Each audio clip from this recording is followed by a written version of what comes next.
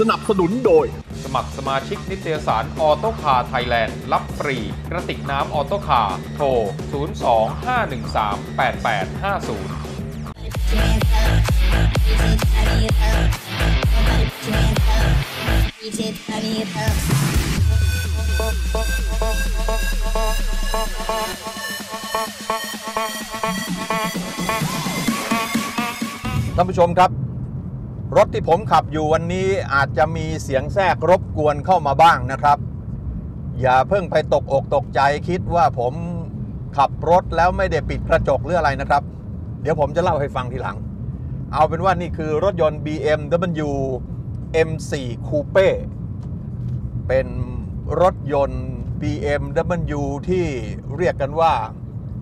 ตกแต่งโมดิฟายมาเต็มๆว่าอย่างนั้นเถอะนะครับ BMW M4 Coupe คันนี้เนี่ยใช้เครื่องยนต์เบนซิน 6 สูบ พร้อมด้วย TwinPower Turbo คือเทอร์โบ2 ตัวว่าอย่างนั้นดีกว่า ความจุก็ 2,979 ซีซี ก็คือเครื่อง 3 ลิตร ให้กำลังสูงสุด 431 แรงม้า เมื่อเครื่องยนต์ทำงาน 5,500 รอบไปจนถึง 7,300 รอบ เห็นไหมครับ รอบสูงน่าตกใจทีเดียว แรงบิดก็เช่นเดียวกันครับ 550 นิวตันเมตร มาตั้งแต่ 1,850 รอบจนถึง 5,500 รอบ เป็น flat torque ที่กว้างมากทีเดียว 1,850 ถึง 5,500 นะครับ เขาบอกว่าเร่งจาก 0 ถึง 100 ใช้เวลา 4.1 วินาที ความเร็วสูงสุด 250 กิโลเมตรต่อชั่วโมง บอกตรงๆเลยนะครับว่าผมขับรถคันนี้พอขึ้นมานั่งติดเครื่องแล้วออกมาทางโล่งๆ กดคันเร่งนี่ผมคิดอย่างเดียวเลยครับ เราแก่เกินไปหน่อยนะครับกำลังวังชาเราถดถอยเกินไปนิดหนึ่งคือถ้าจะขับรถที่มันอัดได้มันอย่างนี้ฟัดกันได้เต็มๆแบบนี้เนี่ยร่างกายต้องพร้อมนะครับ ร่างกายต้องพร้อม ประสาทตาต้องพร้อม สมองต้องฉับไวสั่งการได้ทันท่วงที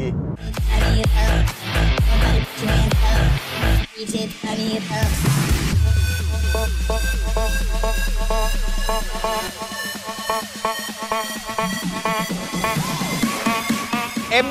คูเป้คันนี้8ล้าน9แสน9พันบาทนี่ ผมบอกได้เลยครับว่าสำหรับคนที่ชอบขับรถ คนที่อยากขับรถดุดุอยากขี่ม้าพยศ ขับกันแบบได้อารมณ์มันๆจริง ๆ แล้วแล้วก็ราคาเป็นเรื่องไม่สำคัญ อย่างที่บอกเมื่อกี้ครับ ขับรถแบบนี้เนี่ยไม่ใช่ว่าซื้อมาประดับบารมีอย่างเดียวนะ คนขับต้องชอบด้วย แล้วก็ร่างกายต้องสมบูรณ์นะครับ เวลามันฟัด เวลามันกระชากออกไปข้างหน้าเนี่ยถ้าไม่พร้อมจริง ๆ เหนื่อยใช้ได้ทีเดียวครับ สิ่งสำคัญอีกอย่างหนึ่งคือใจและวุฒิภาวะครับ รถแรงๆแบบนี้เนี่ยขับได้สนุกสนานแบบนี้ เวลาขับต้องคำนึงถึงเรื่องของความปลอดภัยของตัวเองและผู้อื่นบนท้องถนน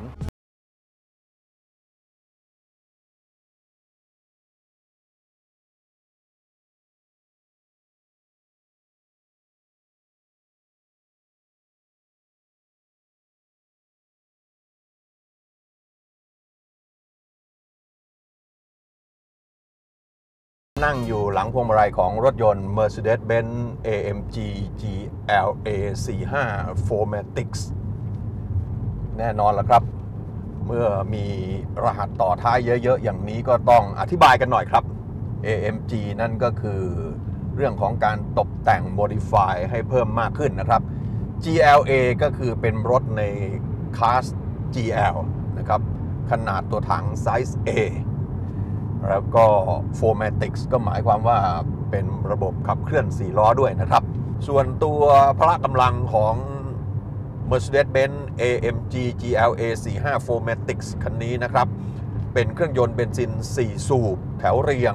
4 วาล์วต่อสูบ ความจุจริง ๆ ก็ 1,991 ซีซี แล้วก็มีระบบอัดอากาศแบบ turbocharger พร้อมด้วยอินเตอร์คูลเลอร์เข้ามาช่วย ให้กำลังสูงสุด 381 แรงม้า เมื่อเครื่องยนต์ทำงาน 6,000 รอบต่อนาที มีแรงบิด 475 นิวตันเมตร เมื่อเครื่องยนต์ทำงานตั้งแต่ 2,250 รอบไปจนถึง 5,000 รอบต่อนาที อัตราเร่งจากหยุดนิ่งจนถึง 100 กิโลเมตรต่อชั่วโมง 0 ถึง 100 ในสมุดคู่มือบอกว่าใช้เวลาเพียงแค่ 4.4 วินาทีเท่านั้น แล้วก็ความเร็วสูงสุดสมุดคู่มือเขาบอกว่า 250 กิโลเมตรต่อชั่วโมง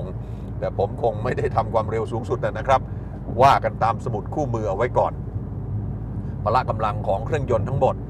ถ่ายทอดผ่านเกียร์อัตโนมัติ แบบเดินหน้า 7 จังหวะอัตราทด หรือว่าเกียร์7 speed AMG Speed Shift DCT 7 นะครับ คนที่ชอบขับรถดุดุมันมันแบบนี้เนี่ย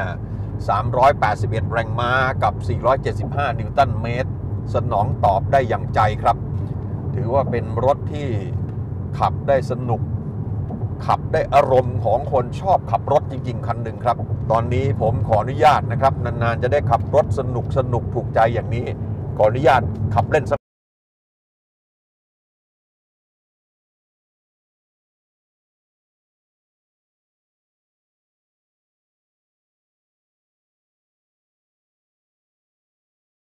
Mercedes-Benz GLA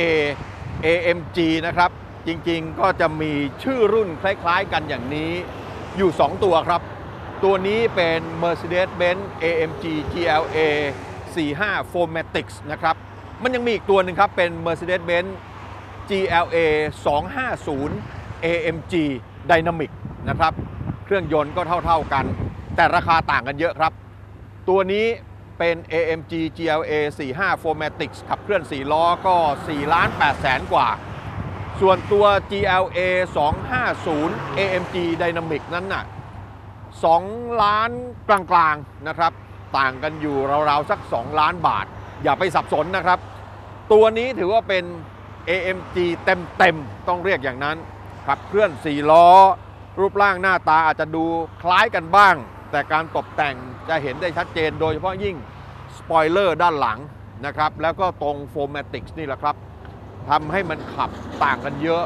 พละกำลังเครื่องยนต์แรงม้า ขับกันได้เต็มเหนียวจริง ๆ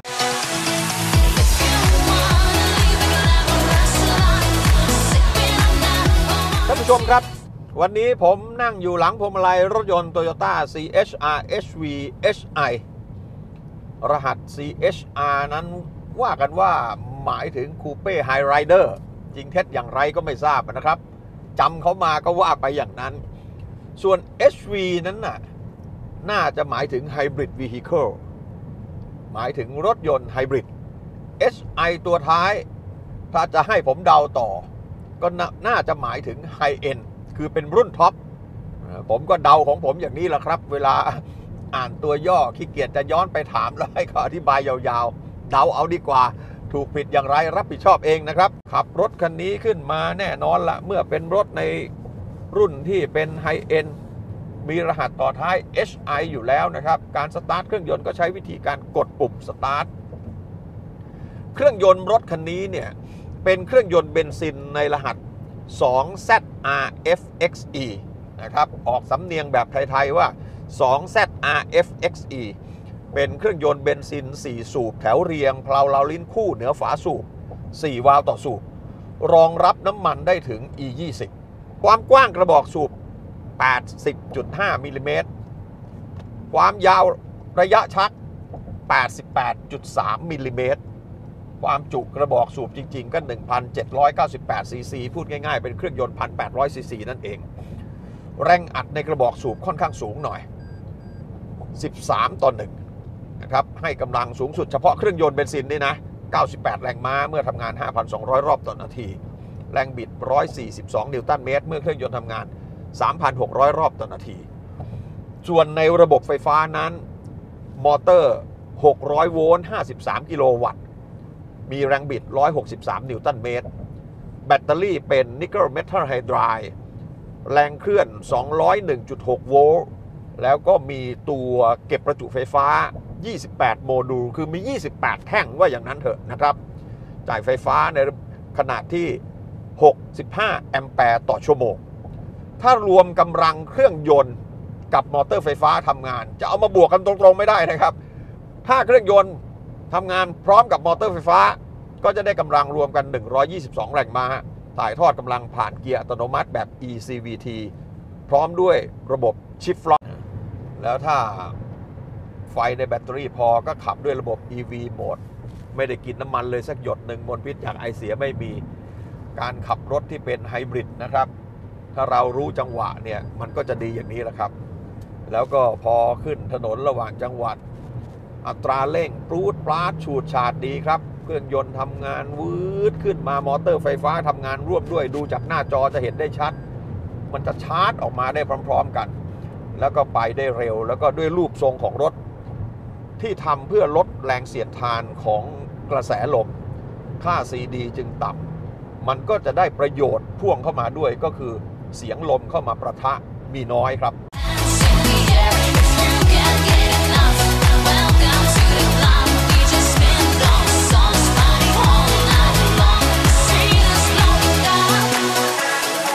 รถรูปทรงอย่างนี้นะครับ